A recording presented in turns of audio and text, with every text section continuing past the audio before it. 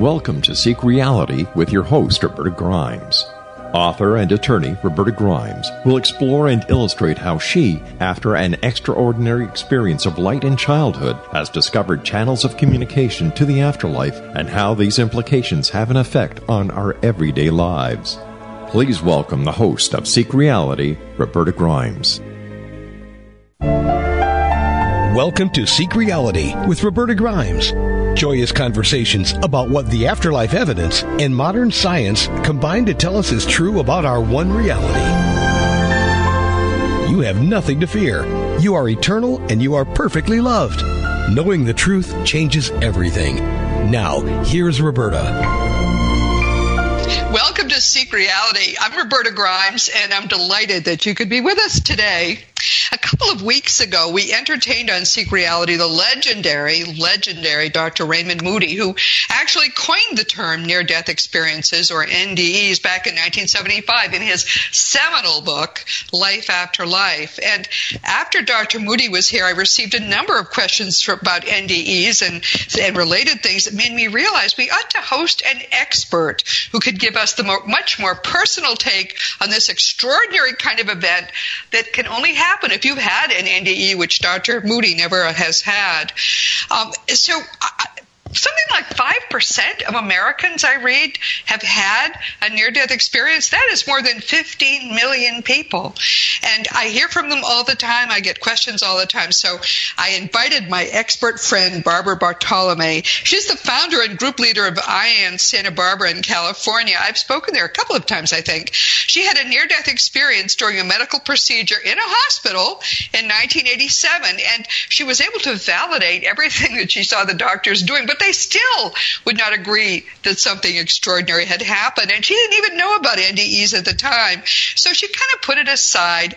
And then, eh, as she puts it, in 2009, through IANDS and the NDERF organizations, she'll, she'll tell us about those, she opened up to her NDE and she made an amazing life discovery that she will share with us today. She's talked about her experiences all over the place national TV, radio shows, news articles, podcasts, documentaries, conferences and seminars and in front of live audiences, both in the U.S. and in Canada. She's retired now from the University of California at Santa Barbara, and there she was named an unsung heroine for her volunteer work in the community. That is who she is.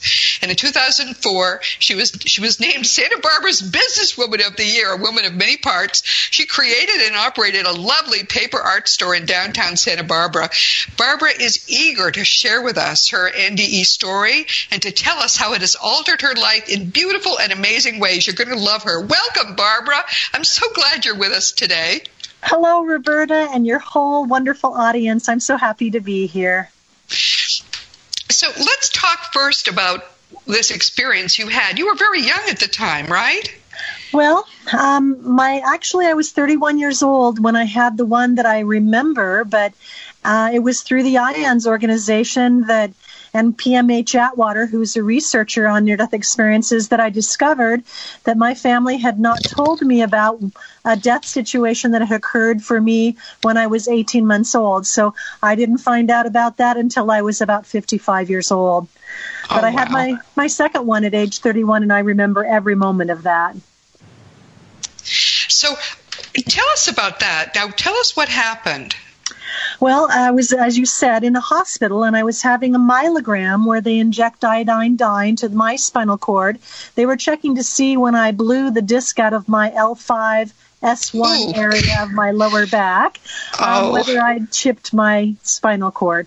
So oh. they were injecting dye and they accidentally tipped the table the wrong way so that my head was lowered below my, my body and the dye flowed into my brain and I died on the x ray table. Wow. Wow.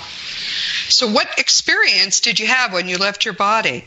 Yeah, I, I literally uh, was panicked in my body one second. Did not realize I was going to die. I thought I was going to faint. It was, I was starting to hyperventilate, and my eyes were rolling to the back of my head, and and I was going out of control, and and I was scared. And the next second, when I died, I was up on the ceiling above my body, looking down at my body and everyone in the room.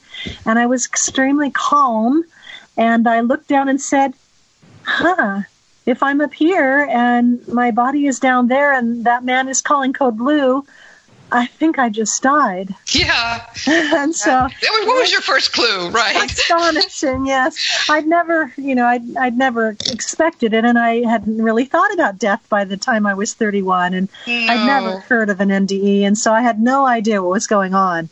Um, there was a presence next to me on the ceiling um, that I felt immediately, and it felt very eternal and very loving, very accepting just huge. And I, I would, in my heart, I would call it God. And so, you know, for anyone, it could be whoever they choose to call it. But for me, it felt like God was next to me. And I began to talk to the being. And I said, I would really like to go back into my life. I have my five month old daughter and my eight year old oh. son, and I need to go return. They were. They would be in a very bad situation if I left because I was married to someone who was very abusive and um, I would have been leaving them in an abusive situation without protection. And so I was asking to go back to protect them, but I also, from the minute I got out of my body, I knew what my life purpose was. Immediately was shown that I had this specific life purpose, and I asked also to go back to complete my life purpose. And I realized as you know time went by, and it's now 31 years after that NDE um, I realize I'm completing my life purpose right now in my talks about my near death experiences and my work with uh, teaching and traveling and speaking about near death experiences. It is my purpose. I was supposed to do that. What did they tell you your purpose was? Did they say it'll be education? What were the well? How did they put it? it?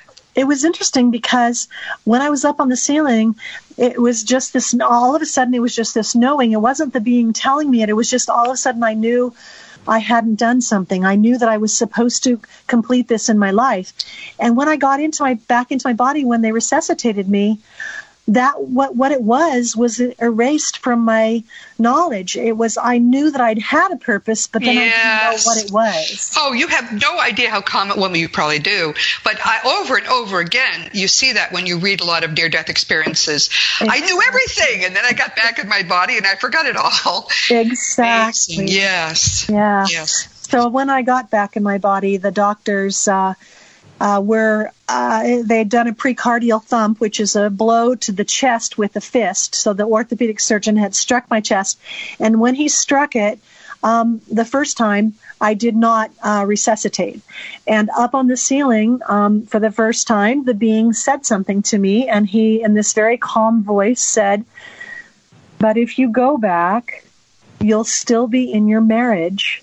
What will you do and then he showed me all of these film clips of all of the trauma that I was living through, all of these.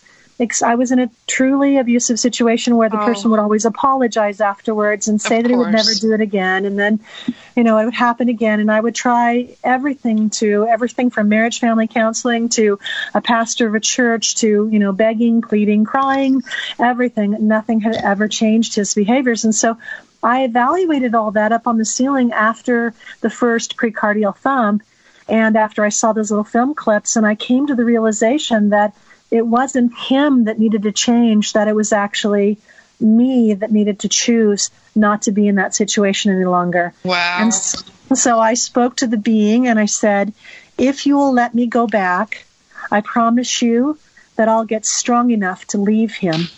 And the second I said that, the the doctor, the orthopedic surgeon, did the second precardial thump, and my eyes shut up on the ceiling, um, and I closed my eyes up there, and I opened them in my body, and his fist was had just hit my chest.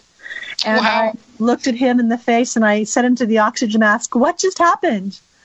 And he then, the nurse then said, "Don't talk. We need to stabilize you." And so 20 minutes later, when they took the oxygen mask off, I just downloaded what just happened. I was up on the ceiling. I could see and hear everything. What right. was going What was going on? I saw the heart monitor flatlining, and the neurosurgeon who was present, he just went, "Oh, brother," and walked yes. out of the room. He ended up walking out of the room. So everybody else stayed and listened, and the orthopedic surgeon was very kind. And he said what else did you see? What did you hear? And it took many years for him to finally tell me that my NDE changed his medical protocols because if I could come back down and accurately describe what happened during the resuscitation efforts so could someone else in the future. And he'd better be careful of what yes, he did. true. Oh, so, yes. yeah, so that's right. no obscene gestures you know nothing crude nothing yes. Really you know right, like let's right. let's give up on this girl. You know, no, no, keep, no, right. keep working yeah. on me. Yeah, right, yeah. exactly. Oh my. Yeah, so it was very interesting. I've had a, an amazing you know, it was, I validated it completely. And I'm one of the few people who spoke about it immediately. Most people that are NDEers just literally don't say anything because they don't know what to say. And they sometimes, when they are get back in their body, they're in some sort of intubation or they're having some other situation occur. And so I wasn't, I, I literally had only had um, um, a local up at the back of my neck and they'd injected the dye in. So I was perfectly normal and fine. I wasn't having anesthesia or anything else prior to the problem when they tipped the table the wrong way. So I was completely alert when I got back into my body again and was able to clearly talk and, and recount what had happened. I think there's a phenomenon too. Many people have had extraordinary experiences in a variety of categories. I think NDEs are the most common by far, mm-hmm. but they mm-hmm. tend not to talk about them. Right. And it, I had two, one at eight, one when I was eight and one when I was 20. I didn't talk about them until I was in my early 40s. It's, it's too personal. Right. And you, you know, no, you know, people won't believe it, but you also know it was real. Oh, um, yeah you're still aware of that experience as if it almost just happened yesterday, right? Yes, when I'm talking about it, I can literally shut my eyes and look down from the ceiling and see where the people were in the room and see where the heart monitor was brought in and set on a shelf right next to my body. And, you know, the oxygen cart was on the cart was on the other side of, of the table that I was laying on. I can see the whole room when I shut my eyes. It's the clearest memory that I have in my entire life that's another, uh, and, and I just want everyone listening to understand you may have had or you may have an extraordinary experience. Um, it doesn't have to be just like hers. I'll talk about mine at some point. It doesn't have to be just like mine. But one of the characteristics of them is it still feels years later as if it had only just happened. Yes, correct. And, they're they're eternal. They're, they have a different kind of categorization in our memories, and that's a very important distinction. What made you finally say, okay, 20 years later, you said, um, all right, I'm going to start to talk about this? What ha- what happened? What made that begin to happen? Yeah, what happened was that um, a friend of mine who's a nurse was having her her mom was impending dying. So her mom, she was going through this grief of her mom's impending death, and all of a sudden I realized that my story of what had happened to me might help her with her understanding of death. And so I I said, "May I tell you something that happened to me a long time ago?" And when I told her the whole story, she said, "Oh my god, Barbara, I'm in the area where people are in cardiac arrest at the hospital and what you're talking about is exactly what would have happened in the situation." And she said, Barbara, you've had a near death experience. And I said, a what? Yeah, right. Never heard of it. And I still hadn't, you know, sent, I don't watch TV and I'm just, I'm, I, I try to help in my community, but I really, um, I'm not, I'm not a person who, you know, reads the newspapers and stuff like that. I kind of disconnected with that a long time ago. And so, um, she was the one who gave me the word on it. So, of course, the internet had popped up, and I my husband remembers that for three days I just sat there on the internet and just researched NDEs. It was, yeah. you know, a, a, good number of, I think it was actually 13 years later. I think my daughter was 13 when that happened. And so it took me a couple of years to actually feel like I could, um, you know, talk with anybody else about it after I'd kind of investigated it. Yes. And then I connected with the Near Death Experience Research Foundation, which is Dr. Jeffrey Long, and that's NDE rf.org. And I, you know, ended up writing up my near death experience very briefly and posting it on his site and answering the questions that he posts to each experiencer. There are a set number of questions, and he ended up doing research on near death experiences. He's a radiation oncologist.